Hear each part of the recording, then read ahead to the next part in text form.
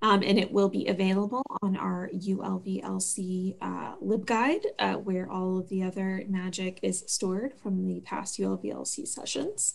Um, but if you, again, if you have any questions, tech issues, anything like that, please feel free to put that in the chat. I will be monitoring chat while our presenters are um, sharing with us today. And with that, I will turn it over to our presenters. Hey everybody, I'm gonna get us going before kind of opening things up a little bit. Um, so for those who don't know, this is uh, some work that's coming out of the Community Connections group that was started back in August, along with a number of other, um, I can't I can't remember what we actually ended up call them, communities, um, learning groups within the university libraries. So um, this is a group that Tim and Kathleen specifically from are the AAG contacts um, for, but um, again, we started our work back in August. We had lots of conversations about what does community mean? What does community engagement mean? What do we think when we think of when we think of community focused projects? Community focused is kind of the language we decided we, we landed on in many ways. Um, this semester, so the semester that we are wrapping up right now, we focused primarily on external communities. So we focused primarily on projects, resources, programs, things like that, that benefit and are primarily aimed at non-UNCG communities. So folks away from our campus who may not have any affiliation with UNCG. They may, but they may not. Next semester, we're going to kind of switch that focus and have a little bit more focus on UNCG communities. So, you know, students, faculty, staff, alumni, people who are actively um, affiliated with the university. So most of you probably remember you got a survey uh, back in October, I believe it was, asking for current and fairly recent projects that you've been working on that have that kind of external community focus. A report on that. Um, I don't think it's been produced yet, but it's forthcoming. Um, this is the first of a series of three panel discussions that we're going to have. And um, so this is number one. Number two is on December 15th at 1 p.m. It's focused on growing community connections. Um, and then on Thursday, January 7th at 1 p.m., we're going to focus on resources for, for building community connections. And all of these are going to be done in partnership with ULVLC. So um, the lovely Jenny Dale will be providing you with more information on how to, um, how to sign up for those. So um, that's kind of the grand overview of what we're doing here, why we're doing it. Um, as Jenny said, today we have um, three panelists. I'm one of them. Um, Stacy Krim is another one, and Nikia Hoskins is another. Richard uh, Cox has volunteered to moderate uh, the panel discussions for us. And primarily what we're gonna do is Richard's gonna throw out questions, um, a series of questions that each of us in turn will answer. And the three of us, how about this? We didn't discuss this, but we can go alphabetically. So Nakia, then Stacy, then me to respond to Richard's questions. Um, and we'll talk about not just a specific project that we've worked on, and we may bring in examples from specific projects, but we're going to talk kind of in a broader overview, um, as well as giving specific examples in reference to the questions that Richard asks. But the most important part for, for the awesome 25 folks who are here, which yeah, Jenny, this is a this is a big group. Um, the the largest uh, part of time we're going to save at least 20 minutes, if not more than that, um, for audience Q&A. So we want to hear from folks about um, questions you may have, um, additional responses you may have, issues you may have come up with in doing this type of work, and honestly, anything that this community connections group can do to, um, you know, we don't necessarily have the ability to provide resources because most of us aren't department heads or in AG, but um, you know, what can we do to help advocate and, and support things that are that are happening through this group? But um, yeah, that's kind of the overview. So I guess now I'm going to throw it over to Richard, our uh, lovely moderator, and um, we'll get started. Okay, so assuming everyone can hear me just fine. Um, first question I will be posing is, can each of you talk about a community-based project that you've started with a local community or a community group for libraries, programs, events, and projects? All right, sure. I am up first. So um, I'll be very specific. Um, first, I'll talk about maybe some of the initiatives, the projects that I was kind of um, given when I was um, started working here for the libraries, it was some things that were already in talk and conversation. And so I kind of came in, if not on the initial talks about implementing the project, but maybe right after. Um, and then some I use a little bit of my background. A lot of you know I've spent like over a decade in nonprofits, most of it at the Civil Rights Museum. And so that's honestly where I've learned the foundations of my community engagement, building, and um, project management. But specifically, for the libraries, I'll bring up the Racial Equity um, Institute, the REI classes and the workshops that happen. And then I'll talk about Greensboro Bound Literary Festival partnership. Um, and so, in brief, the REI workshops, again, um, the previous Dean Martin, to my understanding, was talking with the provost who agreed with the initiative based off the campus um, goals and values around EDI, right? To bring this outside um, institute and business in to host workshops not only for people here on campus, but also opening up to other community members and doing it at a reduced or a subsidized rate um, because the provost and whatever funds here was going to pay for it. And so, in my um, starting to work with that initiative, it was really first to kind of flesh out what the goals were. Um, and anytime that for me, you deal with other stakeholders and partnerships, I think it's important to make sure that all of the goals are put on the table and then you find out what goals you have in common right? You see what the strengths are. You can be realistic. I don't believe in um, overselling a project or an initiative just to have partners or um, resources for it. So um, REI and starting that, all right, you already had the campus behind you, you had some resources. And so um, the task was to get these outside individuals, right? People who are not necessarily affiliated with UNCG. One, how do you market to them? Two, how you know how does it how do you work with those entities, companies, and corporations? One to send their people and, and pay for it. And then um, three, again, how does that overall build into the greater good and trying talking about um, racial equity and EDI initiatives? So for me, and, and um, starting to work with that marketing was important. Um, but again, given um, the climate that we're in, um, we, we played with it well, so to speak. You know, everyone is talking about EDI issues, given what's going on, current events, right? This whole cultural shift that is needed, this awakening that's happening. So um, for that project, it was pretty easy to get public interest. And so the hard part came into like, okay, we can only have this certain amount of people. So how do you fairly and justly fill the class to make it, you know, worthwhile as far as financial resources, but also be fair.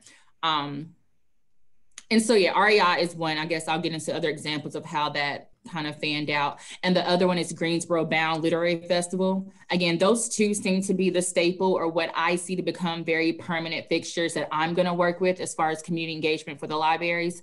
And again, the Greensboro Bound Partnership, those discussions were taking place before I got hired. But shortly after, when I was hired here for the library, I began to do the same thing a SWOT analysis and just kind of assess again what are the goals, the intentions, the stakeholders. Um, and yeah, so I'll get into it more, but right now REI and then the Greensboro Bound Literary Festival.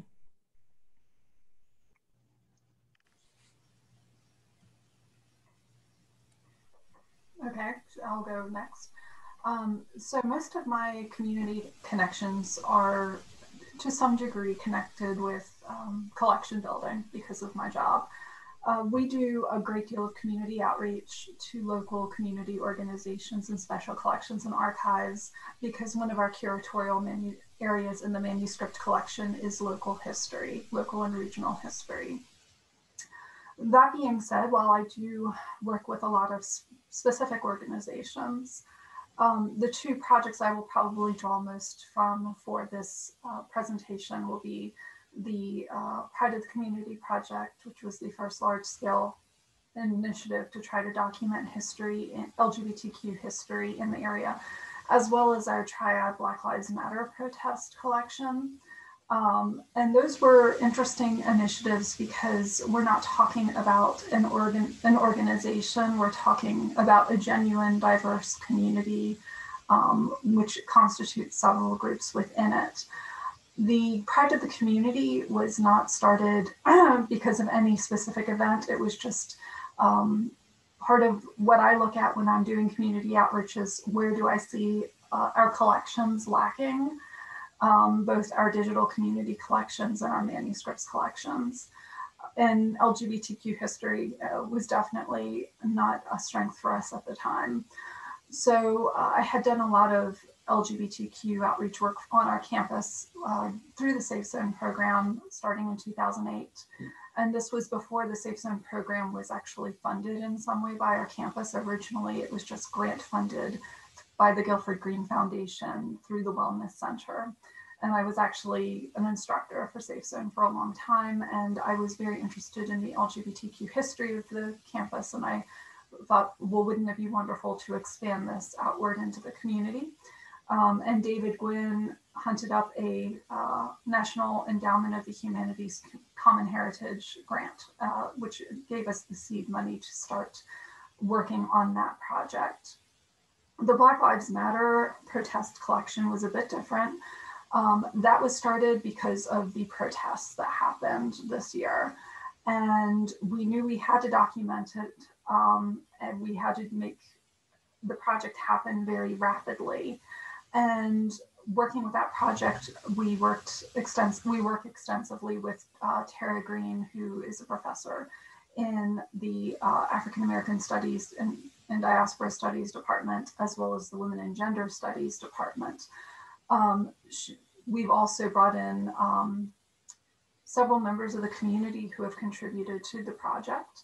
David Gwynn is also uh, working on that project, as is uh, Rhonda and uh, Aaron. So we have a good team for that project.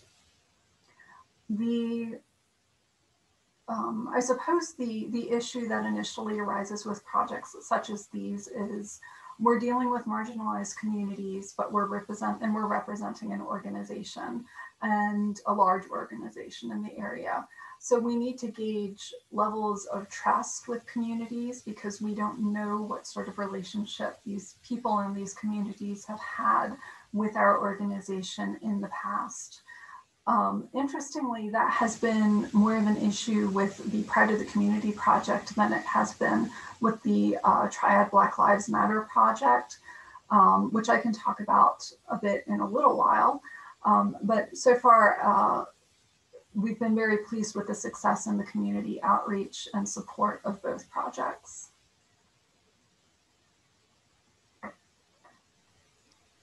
Um, so kind of like Stacy, collection building has been a part of some of the projects, community-based projects that I've worked on. Um, you guys are probably mostly all quite familiar and tired of hearing me talk about well crafted. Um, so, you know, that is definitely a project that's focused on documenting the beer and brewing history um, community, the beer history community here in North Carolina. Um, one that you might not know as much about, but that is available for everybody in um, our digital collections is the 27 uh, collection we have of materials from the 2017 Women's March, where we actually um, basically just put out an an APB uh, on our social media calling for photos from the march. And so, um, you know, we were able to collect about a hundred or so photos from folks who um, attended and participated in that march. But um, you know, collection building isn't always behind what um, these types of projects.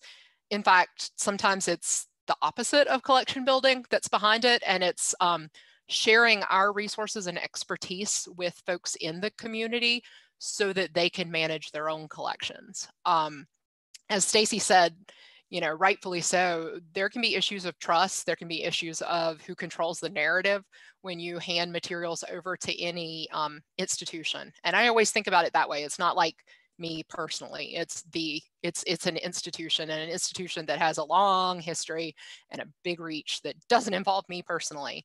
But um, we, we've got a number of projects where we've gone out into the community and either kind of served as a consultant when it comes to helping folks manage their own archives or even supervised grad students or others who are working on site at archives um, in the Greensboro area. So two of those that pop to mind are um, a project that started in 2018, early 2018 or late 2017 with Temple Emanuel, which is the um, oldest of the uh, Jewish synagogues in town. But, um, you know, Temple Emanuel very rightly said, you know, we have a great collection, we have a great history. We want it to stay with us and we want it to stay within our control. And uh, so we worked with a grad student I supervised a grad student who worked on that project and continue to do some work with that now. Another one that's kind of in that same vein is a collaborative project right now that I work on through um, the Institute for Community and Economic Engagement here on campus, IC. Um, they actually have a grant to fund a multi-institutional partnership. So A&T is also involved in this. Um, that's a partnership with Beloved Community Center here in Greensboro to um, process their archives, digitize some of their materials, and help them build a, an archive on site at their um, organization based on the records that they have, records that they're creating. Um, and so I do a lot of work with them just in terms of talking about um, you know, questions like, I have these cassette tapes, what do I do with them? Um, and it's not just saying, well, you need to digitize them, but, you know, what resources are available? What can they buy within the budget that's available to them to do the work and to get the work done without having to rely on um, an institution uh, that, that they may not have 100% trust in. The third kind of driver for a lot of these projects is outreach and education. So um, it's not getting so much as it's taking things out of the building. And this is something that archivists um, in the past have struggled with. Uh, you know, in the early 1980s, archivists started talking about outreach and the need for outreach and the need to take things out of the building. And so that's actually the motivating factor behind Hop into History, where we go, or at least, you know, back in the pre-COVID days, we would go to a brewery and set up an exhibit with actual, you know, some reproductions, but as much original material as we could take. And we would just talk to people and tell stories and engage with the folks who were, who happened to be at that brewery that night. And that kind of grew into um, another event that got postponed because of, of COVID, which was Triad History Day.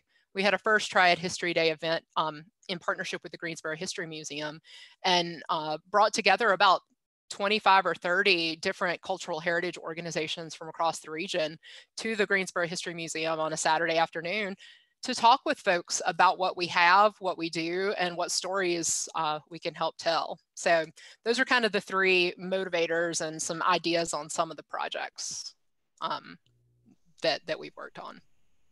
Awesome. So I guess we'll go in the same order as we did before. Um, how, how did that community connection begin that you each talked about and how did you go about identifying your partners? Um, right. So for me, again, first REI workshops um, before me being here. But again, I think the dean talked with the provost office, again, recognizing um, one, what Racial Equity Institute and what they're doing um, can provide a way to also continue the mission that this campus has when it comes to EDI efforts and being a minority serving institution. institution. So that partner um, was kind of already identified for me. But again, going a step after that to make sure we have students for the workshop to happen, I began to um, one identify organizations and companies that were willing to pay for these slots or these positions to have students come to the workshop.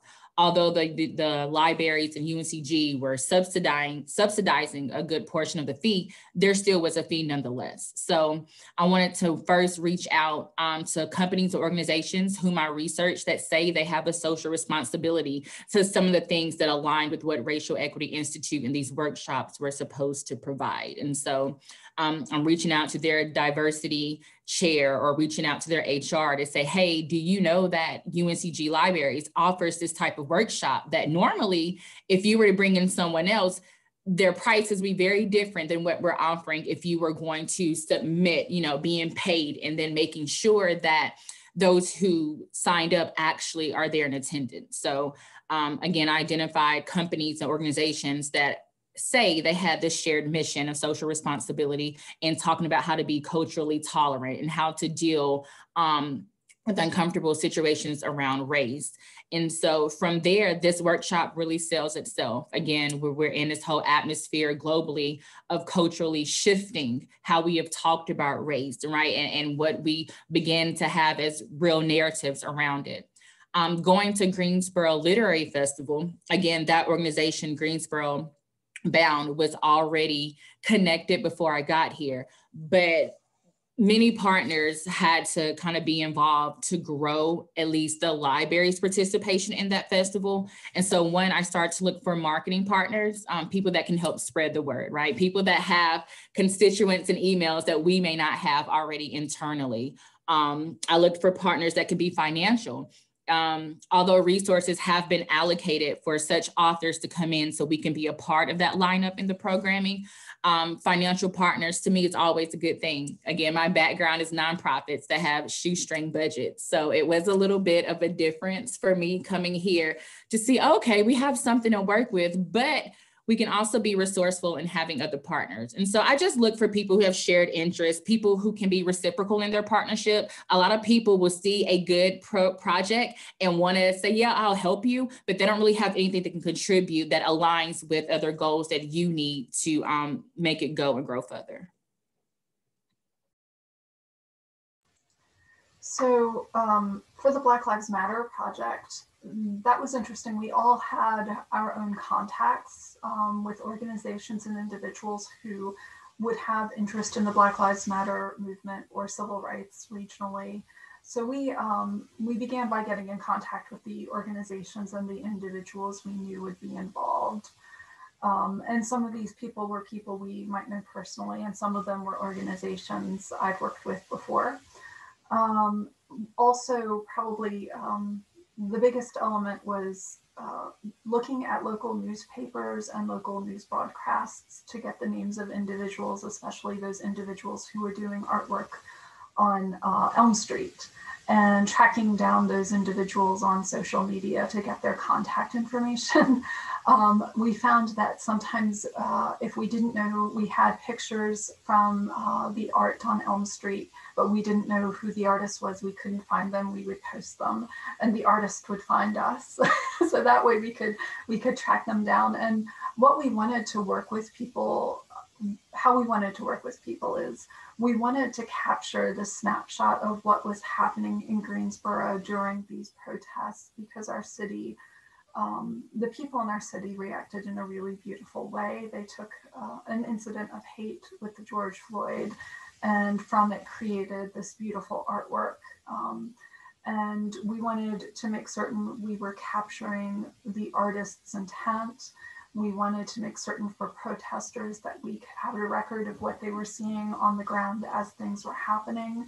We wanted to make certain we weren't um, necessarily um, glorifying one side or the other. So we ask about in our oral histories with individual, um, you know, police involvement.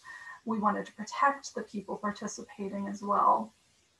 So um, it was a bit of investigation work for us, um, but we all had very productive leads with our own circle of contacts. Um, we were able to expand that circle quite a bit and potentially open up new avenues of, of assisting community organizations um, with just knowing that they need to record their own material, that they need to record their own history. Um, the, tri- the Pride of the Community project was a bit different. We partnered with Guilford Green initially. Um, and uh, what we found was we did get a lot of good information and material, and we made some connections with Guilford Green. But where things really took off for us was getting in contact with Gary Palmer, who uh, works at Replacements Limited, which is, of course, monumental as an organization in our area. And he knew so many people. Um, and he knew people who were involved with LGBTQ civil rights initiatives more historically. And this impacted how our project looked for a long period of time because, first of all, we were getting older, an older group in for interviews and collecting with an older population. We were getting leads um, from an older group of people, which was fine. And in, when you're doing oral histories, that's good because you you are dealing oral histories with people in their 70s and 80s and you don't know what their health situation is but the detrimental impact is that of that is you're not getting a very diverse crowd a lot of the material in the collection and a lot of the early contacts we were making were uh, upper class or upper middle class and they were white we were really struggling to bring in voices of people of color into the community um, so uh, I'm wrapping it up. so uh, we um, worked in the second half of our project to focus on that. I could have just talked faster. Um, so, uh, you know, one thing that Stacy kind of hinted at that I think is an important thing to think about in terms of starting any kind of community-based um, project is that any kind of community focused project actually starts with you being involved in the community. Um, community engagement and community based work isn't someone from the university comes in and fixes things or solves problems or talks to folks, you know, swoops in and saves the day. That's not the motivation, or it should be the motivation or or what actually happens in the end. Um, so, you know, the the first step I would say to starting any community engagement um, project is to be involved in the community, learn what is in the community, learn who's already doing work, meet people. Um, and and I and I realize that that's not always an easy thing to do. Um, I fake it really well, but I'm really a massive introvert. Um, I, I am not very good at going out and feeling comfortable talking to folks all the time. Um, but uh, but I, you know, when I started Hop into History, the first thing I had to do was go and talk to the man whose brewery we wanted to use as the setting for Hop into History and talk to him about how he manages um, events, how we could get on the calendar, what we what we wanted to do, what resources we would need from him. It was literally contacting him and talking to him directly. And that initial contact was made literally in the brewery, just one Saturday. Um, and so it's it's going out and and with that you can kind of build the trust so that it grows into something more. And so Hop into History started as we take cool stuff to the brewery, but the brewery community is a community and um, other folks in the area learned about what we were doing and we would have brewers or brewery workers from other local breweries show up for hop into history to see what we were doing and that actually was the seed to grow well crafted. And so you know that that one bit of engagement and active involvement in the local community can can grow and grow and grow and grow. And you know with some organizations you know one of the tricks is any kind of involvement like that is a is includes some sort of financial it, you know you have to pay dues to join a group or something like that which isn't easy. Um you know I I have student loans just like everybody else does these days. Um, and so kind of funding that and funding it out of pocket because the university uh, you typically won't fund those types of things um, can be a challenge. But you can also kind of find ways around and find partners through other venues that can help you uh, work your way and gain trust in other communities. Awesome. So the last prepared question for each of you is are there particular resources on campus or off campus that you've used to help build your community connection? connection? Yeah. Um, so for me, I have the advantage of being from Greensboro. um, so and definitely building um, off of the connections I made again through nonprofit work here. Um, on campus, of course, the um, the ICE, uh, the community engagement department, um, helps really build off of. I've used the um, School of Education um, helps. And again, with identifying partners, kind of like Aaron said, it's like you have to know the community, right? And and you have to go in from a standpoint of not only wanting to invite people at the table, but invite people to have input at the table, invite people to dictate what is on the table, and hope that what people take away from the table is mutually beneficial, right? Partnership has to be for me mutual has to be reciprocal. Again a lot of people want to attach themselves to something that sounds good and will make them look good but it has to be it's a relationship from beginning to end right? Like i don't do any relationship that's one-sided. I'm not going to participate. I'm not going to offer it. So that's how i approach my engagement and, and my partnership. So I look for people who, again, whose goals either it's on a website, it's through meetings, conversations, or connections that line up with the goals and the intentions I have for a said project. And then I look at whether or not how invested they can be, I need them to be, and then the conversation of what they're willing to be with that partnership. And so for me, I've learned on campus, like for whatever reason, for the library specifically, or either in the avenue that I'm working in, a lot of the things that we're doing, a lot of people don't know about for whatever reason, right? There's a lot going on, or you don't know what you don't know until you know, or however that goes. And so for me, I, I try to seek partners again that aligns with okay this is the mission for said project well i think that this will benefit you too or you have something you know that i think you can teach or help grow or add here and in in, in this relationship with that being said is what can we do as the libraries in turn for you to again make sure no one's leeching off each other more than ever. So for me it, it's a lot of learning. It's a lot of being creative with what's here on campus. And then i do rely on being a native of greensboro and, and having connects from you know uh, high school volunteering internships to actually having some staple jobs here to either ask questions to point me in directions or to ask questions to see if you want to partner with this endeavor Um, our primary partners for most of the projects um, I've been involved with would be our faculty uh, here. And um, not only have our faculty been a tremendous um, asset to us, they've also sent uh, practicum students and internships our way.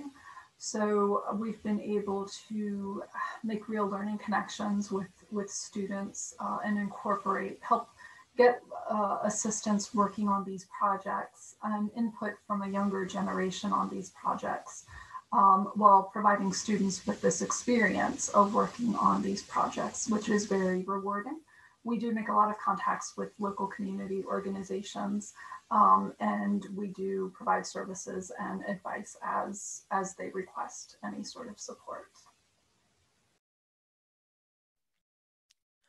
Um, to play off of what Nakia said, uh, you know, I think resources do get adjusted um, and expectations get adjusted based on how invested the community group can be itself. Um, you know, it's important with all of these things to remember that at least for all the folks I work with, what the little piece of the puzzle that I'm working on with them in their job. That's not their full time job. Brewery owners, it's not their job to document their history. As much as I would love it to be that every brewery had an archivist, um, that is never going to happen. And they need to make money. And I have to adjust my expectations and I have to adjust what I'm telling them and how I'm talking to them in order to. Um, to, to meet honestly what they realistically can do. Even the most um, enthusiastic participant in our project.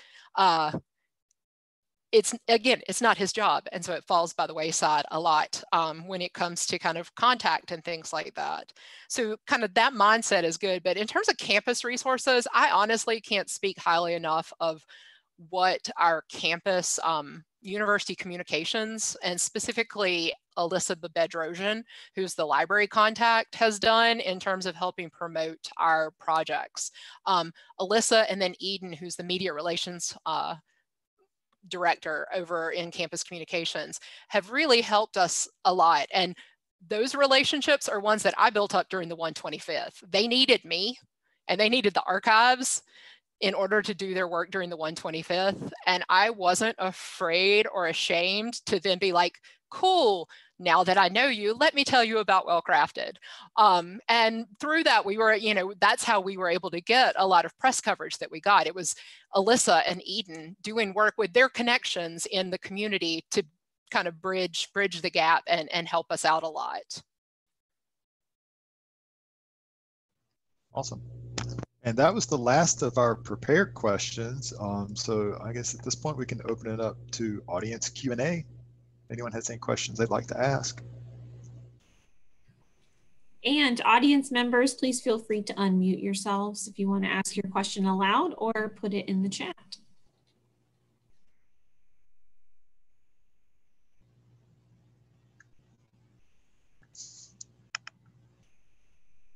Okay, I can start with one then. I'd be happy to start with one. Um, so can any of you talk about what challenges you felt like you faced in starting your community-based projects?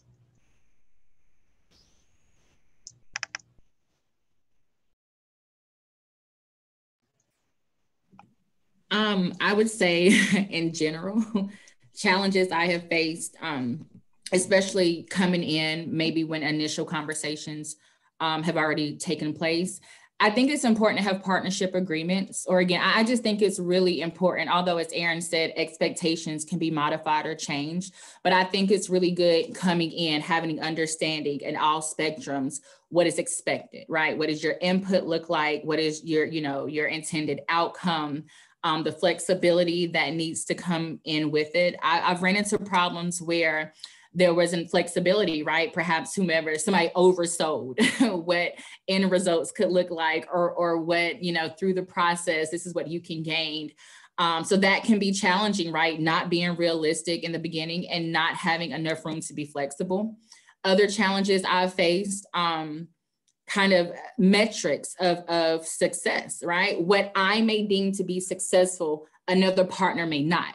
So they may not look at their time, their effort, resources, and money. This may not, you know, it, it could have been a failure for them. And it really does um, affect going forth, right? Because I think of projects and relationships and engagement not as a one time thing. It's not a one time date. Again, I want to be in relation with you. Like, I'm a forever type of person. So challenges in the beginning, yeah, overselling, I'm um, not being flexible enough, resources not being allocated. Like you, you thought something was going to cost this much. Well, you know, inflation happens or, or something took place, um, and now that that triples the cost. Um, also, again, having partners that are big names that may look good for you to get your your initiative out there but again they're not really putting anything into it. So you have to be realistic about your needs. Each partnership looks different and can um, uh, contribute different things to the, the life of your project. But again for me in the beginning those partnership agreements or whatever you want to call them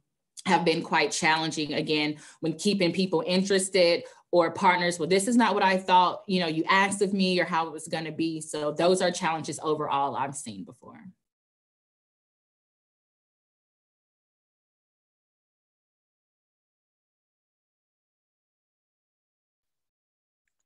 I'll go ahead and pop in then. Um, so I to to to echo what Nakia said, resources and what resources are available what and on both ends of, of the spectrum are important. Um you know we uh we have faced a lot of challenges and in spite of the attention well crafted has gotten it's it's not a well resourced project. It's us going to asheville um or at least you know in the olden days going to asheville for a week for vacation and doing oral history interviews while we're there. Um, that's how that project works because we didn't get funding um, from the library beyond the initial uh, innovation and enrichment grant. And so that limits you know what we can do. We have no oral history interviews with people in Wilmington because we've not been able to afford to travel to Wilmington or to other places, um, basically anywhere east of Raleigh, um, just because the funding hasn't been there. And we've been asked by multiple people, well, why don't you expand the project to include spirits, whiskey, wine? And it's one of those things where it's we have to realistically tell people, and we've told a lot of people this a lot of different times, we can't expand the project because realistically, it's none of our full-time jobs, period. And so we have to carefully scope what we can do, when we can do it, and what resources we have. Um, and not resource, not what resources we hope to have or what resources we feel we could successfully advocate for, um, but what we literally have committed to us in writing, make people commit in writing, uh, even within the library, um, what resources we have to support um, the work that's being done and, and adjust our expectations, our community members' expectations, everybody's expectations uh, accordingly. Um, make sure we're all on the same, all in the same boat, all on the same page, and um, no one is thinking you're going to get more of anything because, um, you know, we all know what the economic climate looks like right now. But even when the economic climate was better, um, you know, there's no guarantee uh, of what you're going to get. Um, so that's kind of that's the biggest challenge that we've and i mean and that's the biggest challenge with just about everything in life is resources and money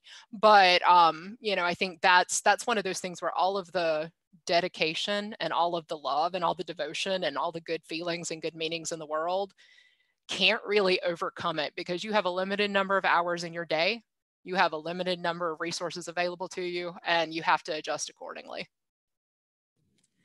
um, Stacy, do you have something before I add another tidbit to that question? I second everything that you have all said. uh, basically, I would say youth community outreach and engagement is really um, personally gratifying, but it's something that can burn you out very rapidly. Um, so transparency, as Erin said, of what you can achieve and what your responsibilities are is, is really crucial from the very beginning. Yeah, that was a good segue. Sorry, I'll just end with this. And resources outside of financial, right? Also, like people and time. Like, what is near and dear to me may not be near and dear to who I work for, although they might be on board with the idea or with the partners, you know, resources, people, the time, like Stacy said, the emotions.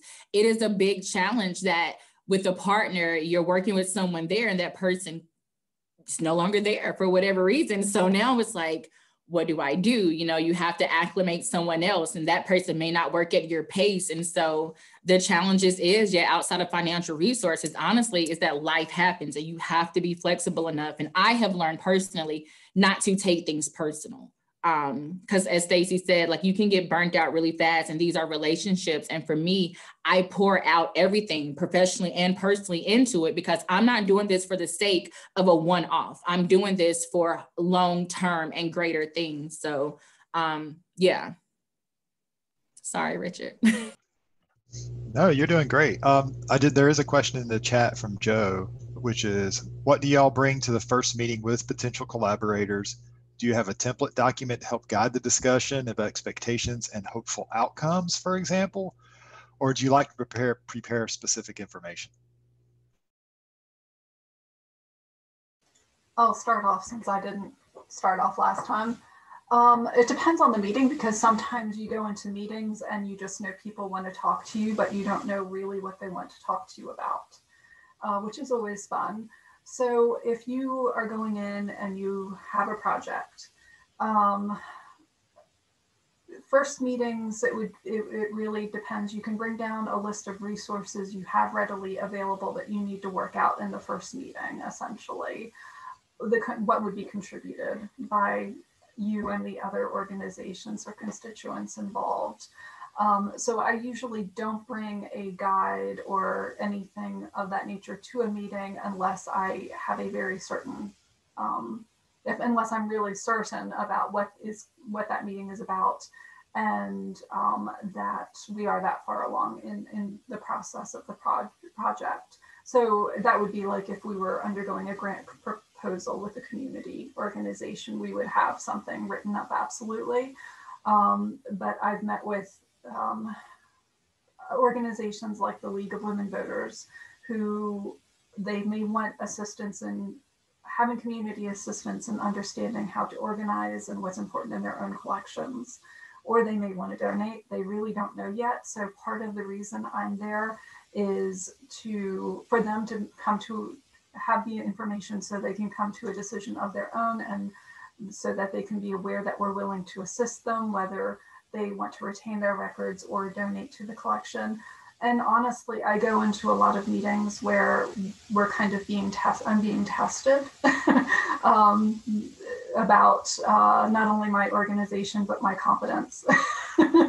um, I, the League of Women Voters was a fun meeting because there were two librarians on the committee I was meeting with. So they just started doing rapid fire questions about archival practices and how things were organized and archival organization versus cataloging. Um, so that's that's always fun.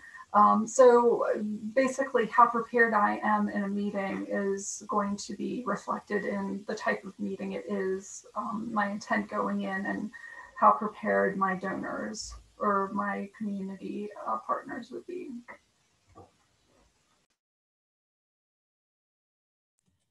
Um, do you want to go next, Erin, or? Okay. Um, for me, yes, I bring, I think it's my personality type. So I bring as much information and specifics that I have. If I have the who, what, when, where, why, what I think a partnership, you know, looks like, I, I do bring all that. Um, I bring honesty. I leave enough room for small talk. I try to fill the fill the room, right? But um, I do have a template, glad to show it or share it with whomever. But again, for me, I think it works.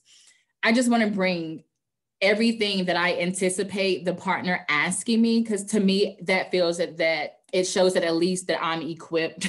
you know, me, um, sometimes I'm meeting with like big wigs. And so I had to even like be self-confident in myself like being young in my age like i do want to kind of this is what we're working with this is what i have this is where i see you fitting in but i leave space. Like how do you see yourself fitting in? So yeah i, I have a template and i bring any and everything. And i also bring the the attitude um you know there's no love lost you know if you decide to decline. And I'm, I'm i'm very open with that. And i hope i don't come off abrasive but yeah i bring literally all that i have um the respect for their time the excitement for having them on board but also the gratitude and the understanding that perhaps this isn't something that at least right now you can get with so. I tend to go a little bit in between the two of them. Um I don't have a um, specific template that I use like for every single meeting because, you know, like I said, so many of these things are different. But what I do is at the first meeting, try to get as many stakeholders at the table as possible. I don't want it to just be a, that, you know, and I say this knowing that there's probably already been a small group conversation. This isn't just some grand meeting that happens and I showed up. But um, the, the first official meeting of the partnership, I want to have as many stakeholders at the table just because like Nakia said, you never know who's going to leave, when they're going to leave, who's going to step out, who had who knows something from 15 years ago that somebody else right now doesn't know. So, you know, have have all those folks there, but also I usually come in with a um, not necessarily with something as formal as an agenda, but with a list of questions. And I send them the list of questions well in advance of the meeting so that they have an opportunity to think through um, my questions, which inevitably will somewhat probably align with their questions, but also might stem more questions from them. Um, and so that way they kind of get a general sense of um, what I'm thinking about in terms of the, the overall uh, project, the overall angle, um, just based off of those questions. But again, the questions also leave the room for me to uh, learn what they want, what they know, what they've done, um, what they haven't done, and what they haven't thought about, um, and, and, and piece all that together so that it really is a, um, a reciprocal project that's, that's kind of built off of that partnership from the beginning. And um, Stacy and Nakia both already answered this in the chat, so I'll point this one to Erin, which is um, what sort of tech tools do you tend to um, take to work with your community partners with or advise with them on. I will just point back to Nikia's response that quote, Google Drive is Bae. Um, it is indeed. Um, Google Drive is very helpful. I'll, I'll, be honest, we have found, we tried to do some work and we've tried this with some of the breweries when it comes to transferring records to use Box um, and Dropbox. And Box in particular is not useful when it comes to partnerships with outside folks outside of UNCG, and particularly if folks outside of institutions where you have an institutional box account. So yeah, Google Drive is is the go uh, the go to project um, for us because you can honestly you can you have everything in one place. You can use it to track things. You can use it to keep your meeting minutes.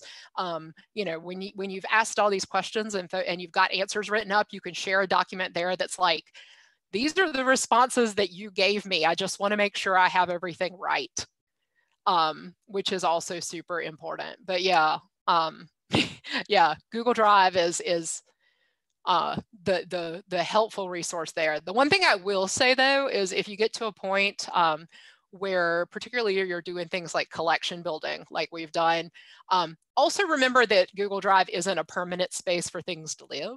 Um, and so you will have to copy out some stuff, migrate out materials for, uh, I say this as the archivist, uh, for, for long-term preservation purposes. Um, Google Drive doesn't do that well. So um, you, you will want to migrate things out um, as needed and depending on what it is.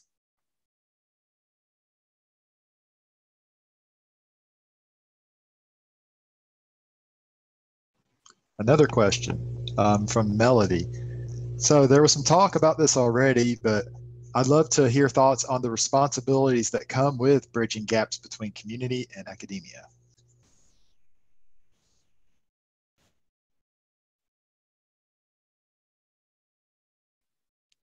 I'll jump on that one uh, first. Uh, so, you know, I think, first of all, I think the library is in an interesting place when it comes to academia because we often tend to be uh, a group that's not thought of as partners on these types of projects when it comes to specifically faculty. Um, you know, our, our own colleagues tend to forget that we are uh, academics uh, and, and we are their partners, potential projects on partners on projects that go outside of the library.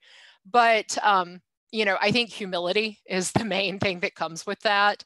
Um, I never want to go into a project with any community member calling myself an expert on anything.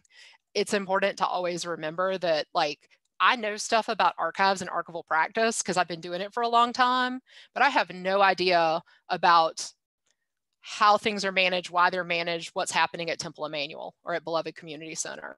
Um, I'm not an expert on their records. I'm not an expert on their story. I'm not an expert in telling them what they should do and how they should do it.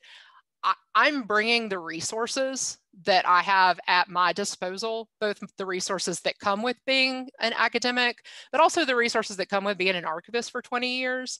Um, I'm bringing those resources in partnership with them. I'm not telling them um, what to do. And so I think, you know, for me at least, I I don't come from a culture of academia. I've been working in universities for a long time now, but you know, I'm from a tiny town in rural South Carolina and neither of my parents have a college degree.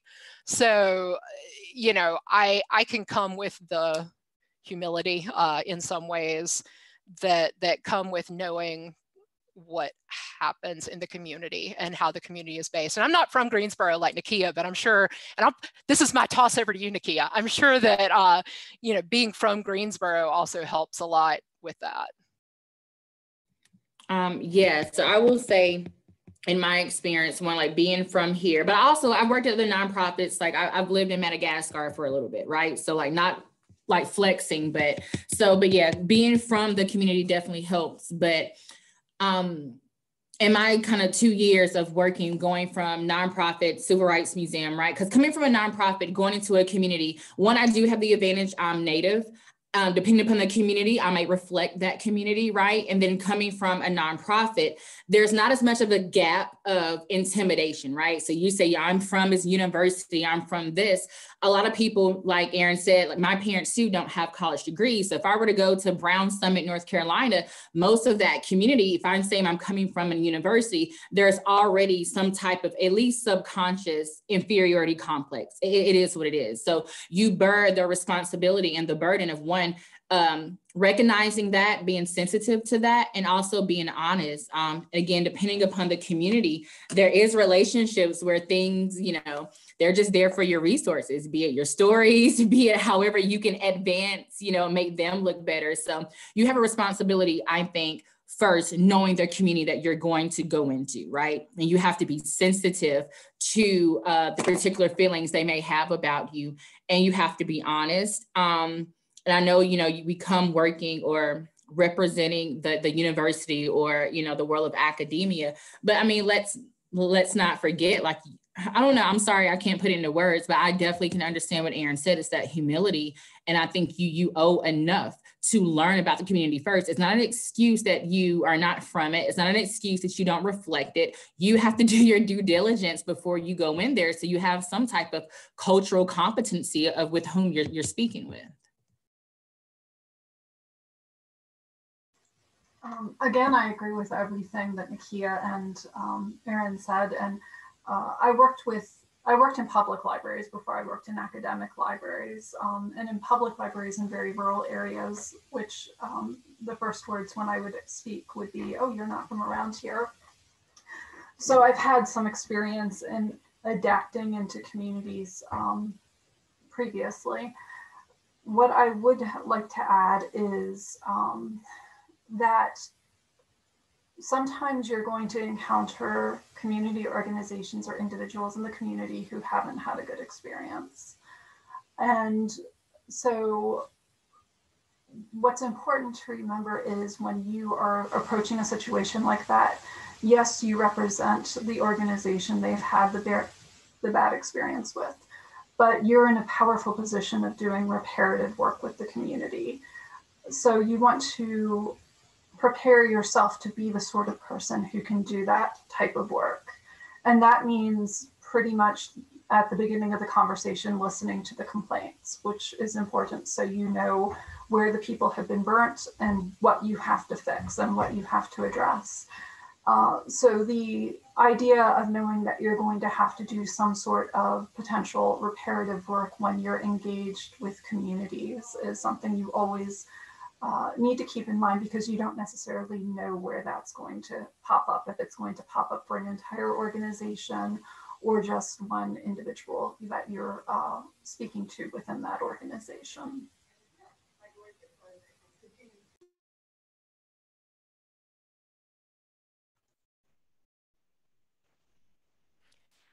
To balance off what Stacy just said, and I think, you know, it can that that kind of hurt can pop up in different settings that you don't expect.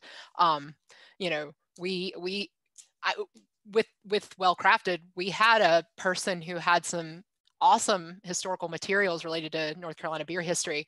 He had gone to you he went to uncg he was a uncg graduate but he was a uncg graduate who had played had wrestled on the UNCG wrestling team and UNCG athletics cut the wrestling team and he was mad and he was not very pleased at all um, and and didn't want to participate in the project be- because of that. So you know it can pop up in different places. So you know you just kind of have to be prepared and be willing to kind of roll with it and not again not take it personally. It's it's not you um, and you weren't there but that doesn't mean that their argument's not valid